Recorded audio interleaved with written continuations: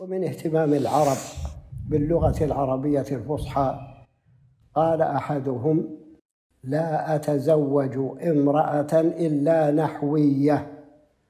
فأخذ يهيم في الأرض يبحث عن امرأة نحوية حتى وصل إلى إحدى القرى فرأى فتاة تسقي من البئر بالدلو فقالت هذه الفتاة تخاطب أباها.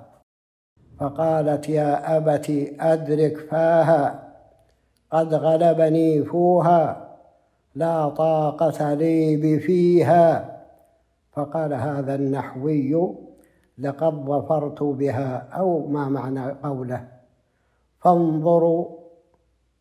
استمع إلى استعمال الأسماء الخمسة في مواقعها العربية دون تلعثم ولو سألنا أحد عن إعراب مواقع الكلمة فوها فاها فيها لوقف عاجزا.